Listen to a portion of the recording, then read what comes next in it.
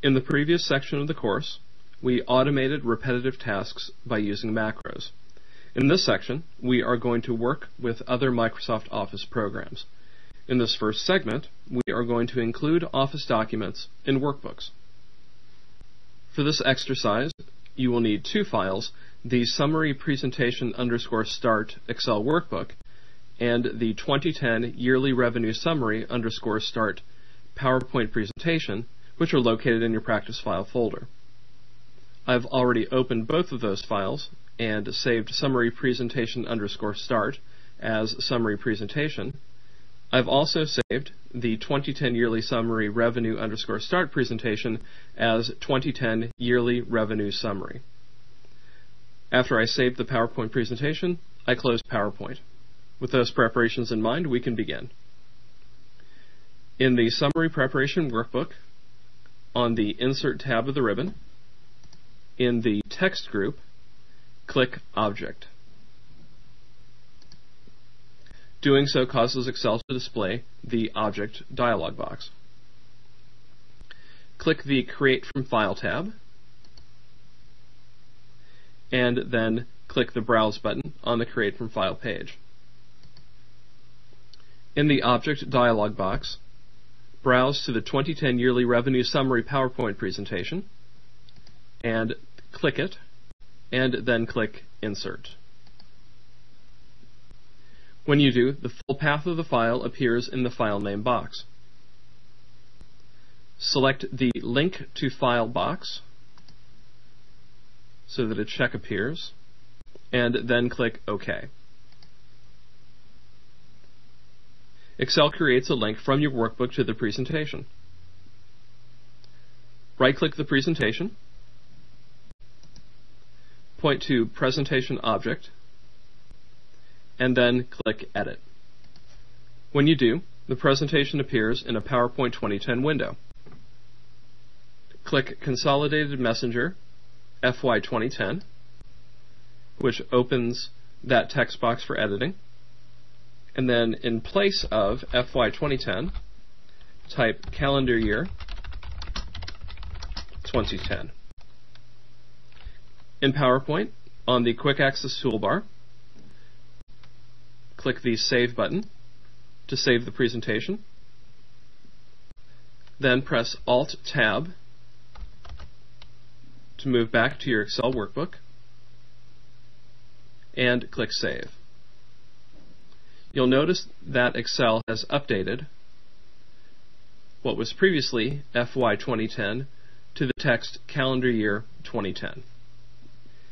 In this segment, we included Office documents in workbooks. In the next segment, we are going to store workbooks as part of other Office documents.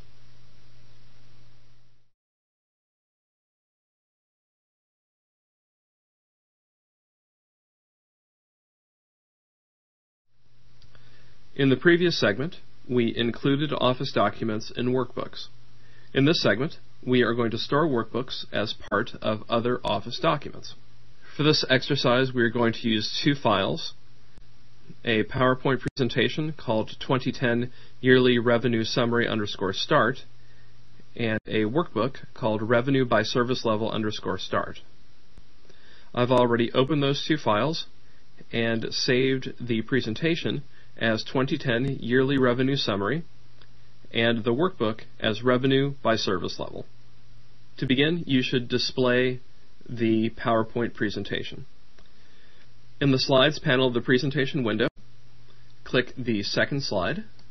The second slide with the title Revenue by Category appears. Then on the Insert tab of the ribbon, in the Text group, click Object. The Insert Object dialog box appears. Select the Create from File option button, and then click Browse. Navigate to the folder that contains the Revenue by Service Level workbook, and double-click that file. The file appears in the File box. Click OK, and the workbook appears as part of your presentation. In this segment, we stored a workbook as part of another Office document. In the next segment, we are going to create hyperlinks.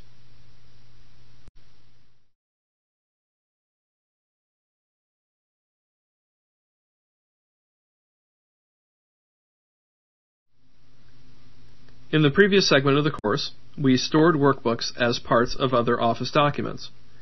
In this segment, we are going to create hyperlinks.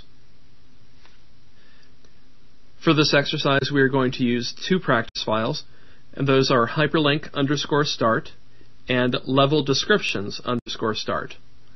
I have already opened those workbooks and saved them under the names of hyperlink and level descriptions, respectively.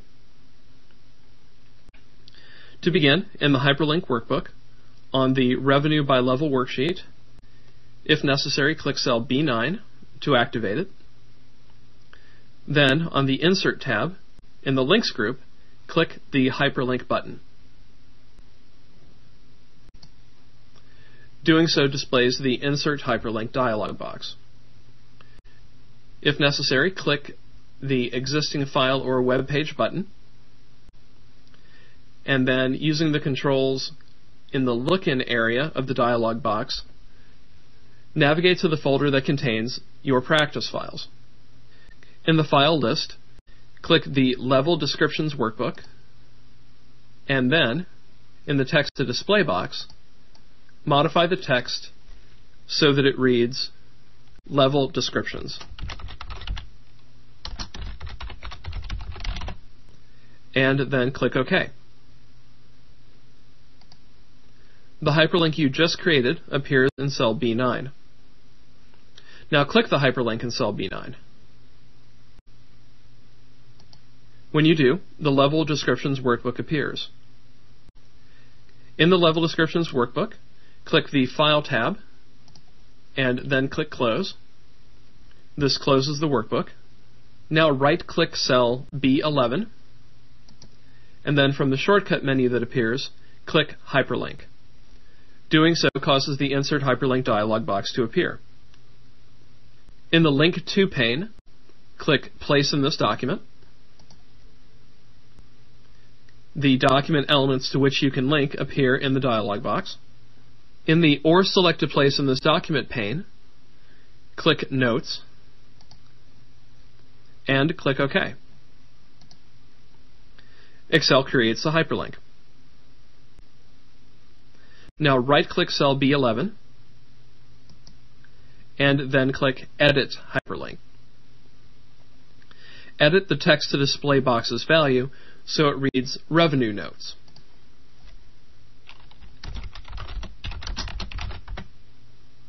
When you're done, click OK.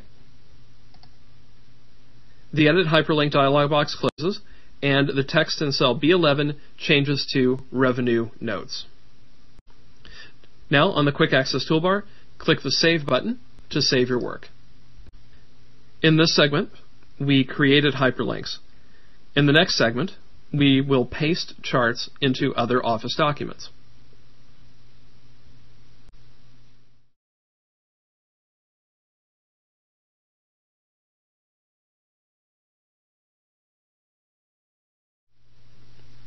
In the previous segment, we created hyperlinks. In this segment, we are going to paste charts into other documents. This segment is the last segment of section 13. For this exercise, we are going to use one Excel workbook and one PowerPoint presentation.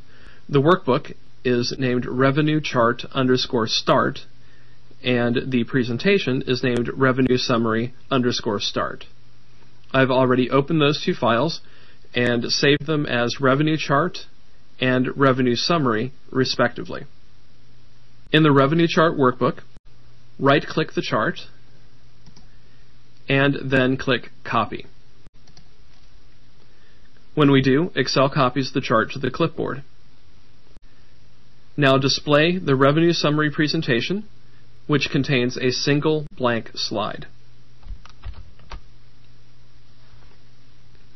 Right click a blank spot on the visible slide and then in the Paste Options area of the shortcut menu, click the picture icon. The chart appears as a static image. Now to change the chart from a static image to a live link to the existing workbook, click the Paste Options button, and then in the Paste Options group, click the Use Destination Theme and Link Data option. It is the middle of the five options.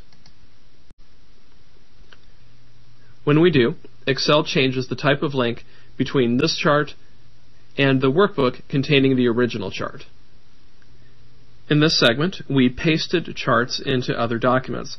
This is the last segment of Section 13, working with other Microsoft Office programs.